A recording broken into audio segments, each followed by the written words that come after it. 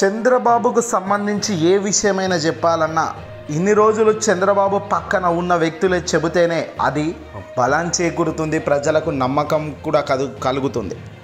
తాజాగా తెలుగుదేశం పార్టీలో ఉన్న గతంలో ఉన్న ఎంపీగా పనిచేసిన కేశినేని నాని చాలా కాలం తెలుగుదేశం పార్టీలో చంద్రబాబును చాలా దగ్గర నుంచి చూసిన వ్యక్తుల్లో ఒకరు.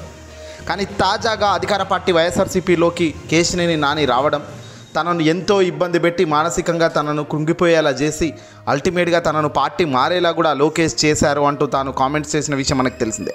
ఇక తాజాగా కేశినేని నాని సంచలన బాంబులు పేలుస్తూ నిజ నిజాలు చెప్పుకుంటూ పోతున్నారు. ఇక చంద్రబాబు గురించి సంచలన నిజాన్ని మరోటి బయటపెట్టారు కేశినేని నాని.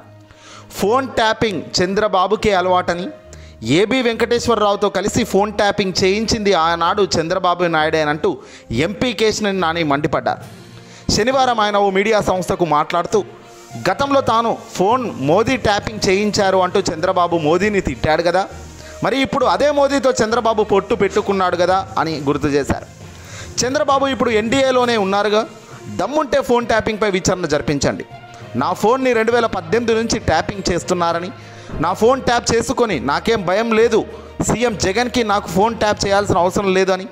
ఫోన్ ట్యాప్ చేయడానికి కానిస్టేబుల్ను పంపిస్తారా అంటూ చంద్రబాబు హైదరాబాద్లో ఉండి ఫోన్ ట్యాప్ చేయిస్తున్నారు అని కేశినేని నాని తాజాగా పేర్కొన్నారు. విజయవాడ టీడీపీ అభ్యర్థి నేర చరిత్ర కలిగిన వ్యక్తి. ఆయన భూ కబ్జాలు చీటింగ్లు నేర చరిత్రలపై త్వరలో పుస్తకాలు వస్తాయి. విశాఖలో డ్రగ్స్ తెప్పించింది చంద్రబాబు సన్నిహితులే. లోఫర్లు చీటర్లు రియల్ ఎస్టేట్ బ్రోకర్లకు టీడీపీ సీట్లు ఇస్తోంది. దేవినేని ఉమా చాప్టర్ క్లోజ్ అయిపోయింది.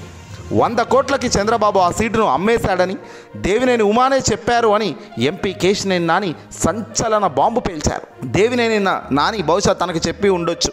తనకు టీడీపీ వాళ్ళతో అందరితో సత్సంబంధాలు ఉన్నాయి కేవలం పార్టీలో ఉన్న లొజుగుల కారణంగా తనకు అవమానం జరుగుతున్న చోట నిలబడలేక తాను పార్టీ మారి మంచి చేస్తున్న జగన్ గద్ద వద్దకు రావడం జరిగిందని కూడా తాను చెప్పడం జరిగింది. పేద ప్రజలకు అండగా ఇచ్చిన మాట తప్పకుండా నిలబడుతూ ప్రజానికంలో గొప్ప స్థాయిలో జగన్ ముందుకెళ్తున్న తీరుకు ఫిదా అయ్యే కేశినేని నాని ఇక్కడికి రావడం జరిగింది. ఇక్కడ సీటు కూడా కన్ఫర్మ్ అవ్వడం కూడా జరిగింది. కానీ తాజాగా చంద్రబాబు ఎలాంటి రాజకీయాలు చేస్తారో ఫోన్ ట్యాపింగ్లు తెర వెనుక ఏ విధంగా చేస్తారో వందల కోట్ల రూపాయలు తీసుకొని సీట్లు ఎలా అమ్ముకుంటారో అనేది కూడా ఇక్కడ కేశినేని నాని చెప్పడం విశేషం. ఏదేమైనా చంద్రబాబు బుద్ధి ఈ రకంగా ఉంది అని ఆలోచన చేయండి ప్రజలారా. సొంత పార్టీలో గతంలో ఇన్నేళ్ళుగా ఉన్న వ్యక్తి తాజాగా చెబుతున్న వ్యాఖ్యలు ఇవి. ఎందుకంటే ఏ అధికార పార్టీ వాళ్ళు చేస్తే ఆరోపణ అనుకుంటొచ్చు కానీ కేశినేని నాని లాంటి వేళ్ళు దగ్గర నుంచి చూశారు చంద్రబాబు నాయుడు. ఆయన డొల్లతనము ఆయన దొంగతనము ఆయన తెత్తి తెలివి అన్నీ కూడా ఇతనికి బాగా తెలుసు. ఏదైనా కేశినేని నాని పేలుస్తున్న ప్రతి బాంబుకు సమాధానం కూడా చెప్పుకోలేని స్థాయిలో టీడీపీ పటాపంచలైపోయింది.